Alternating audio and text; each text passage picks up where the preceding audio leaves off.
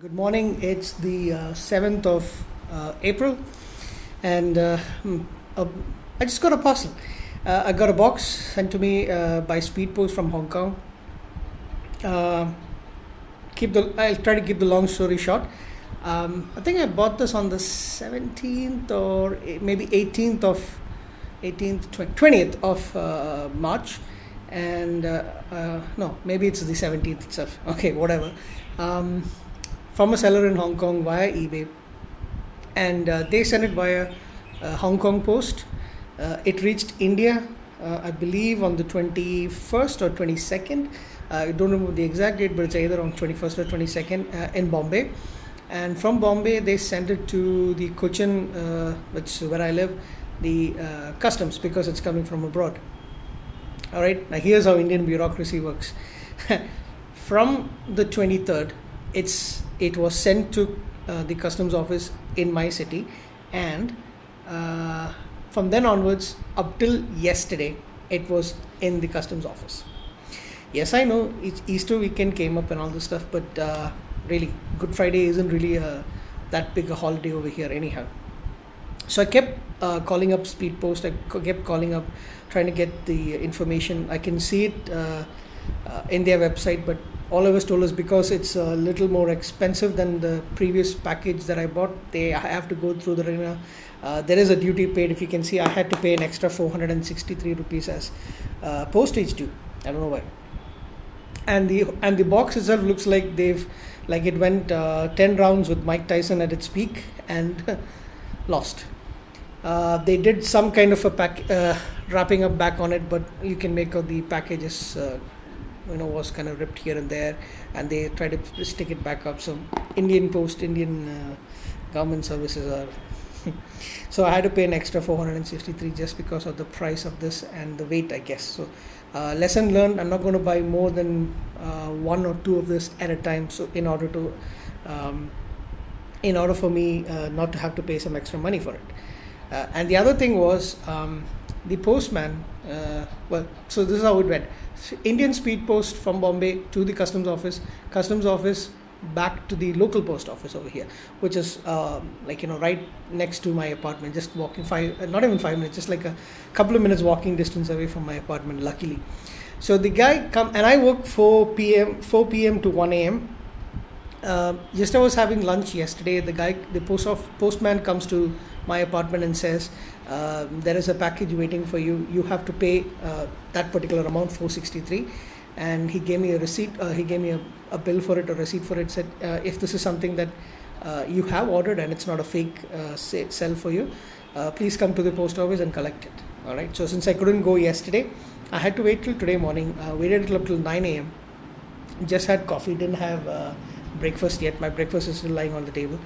Um, I went uh, there, gave the gave the uh, the bill, the receipt, uh, or whatever that they had given me, the chit that says it's in my name, and there was a confusion over there. They didn't know if it was here. The postman is on leave. We're not really sure. Blah blah blah blah blah blah.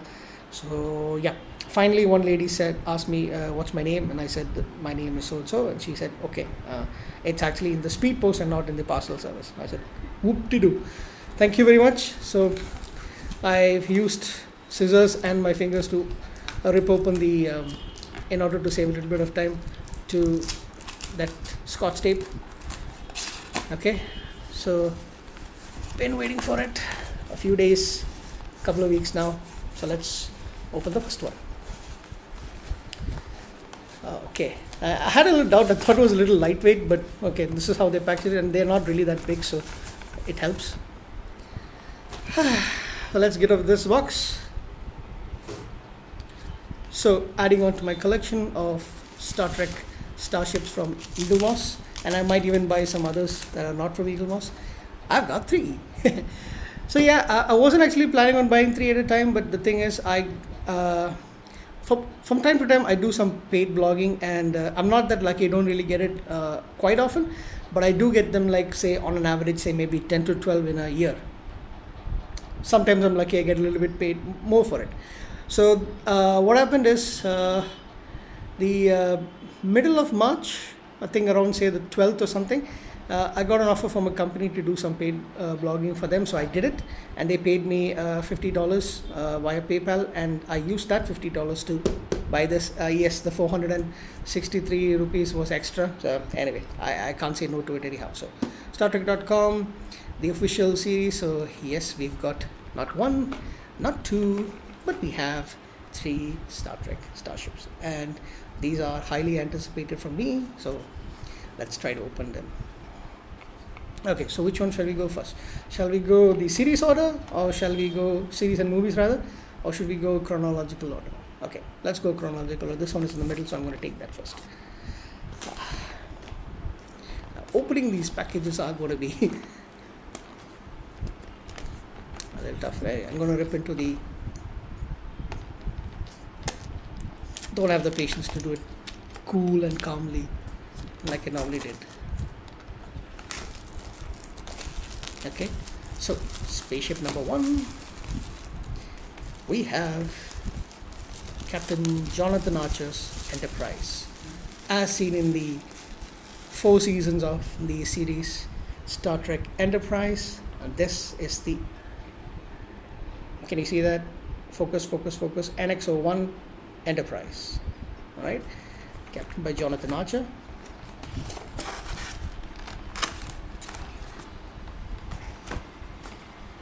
Oh, this is going to be a long video. uh, bear with me, guys. And we have more scotch. I, I do love the way that they've actually packaged it uh, because I'm, for the time being, until I get a proper display, I am going to keep it in the in their covers. And this is hard to do with just one hand. All right.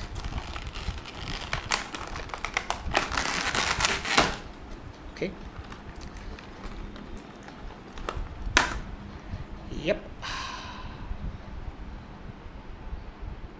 this is the uh, well this may have been the last series to show on on Star Trek but this is the very first Enterprise looks very nice although I would have thought this would be a little bit more thicker kind of like the uh, the other Enterprise but yeah it's pretty cool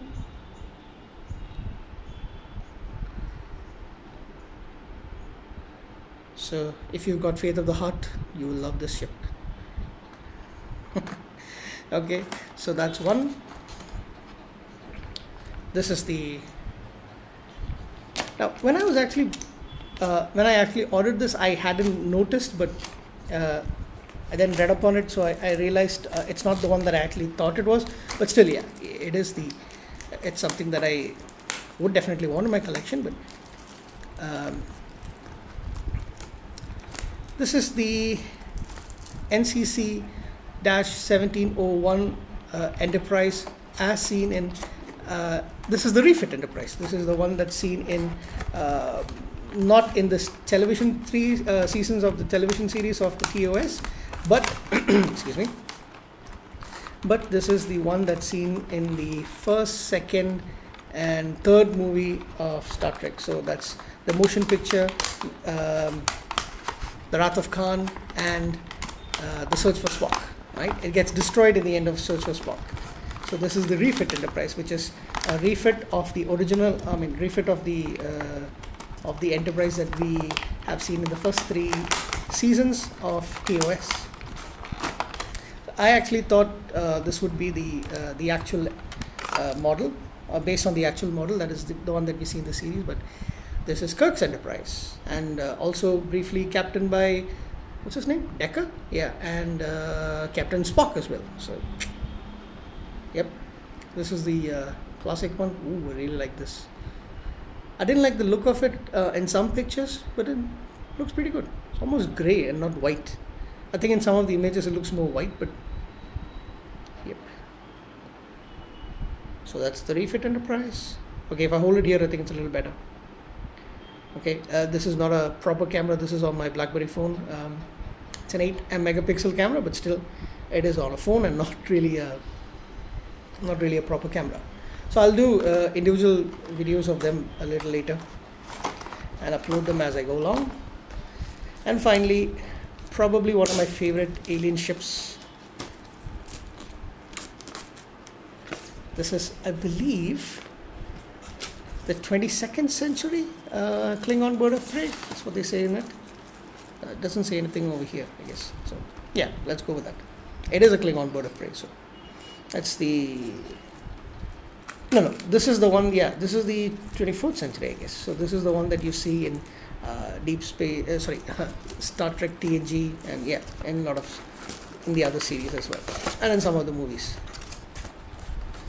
and yeah this is one of my especially like you know keeping it on images and wallpapers i like this ship a lot it's probably one of my favorite uh, is there another favorite alien ship uh, i do like the andorian ship andorian battle cruiser i think they call it oh yeah and this video is going over 10 minutes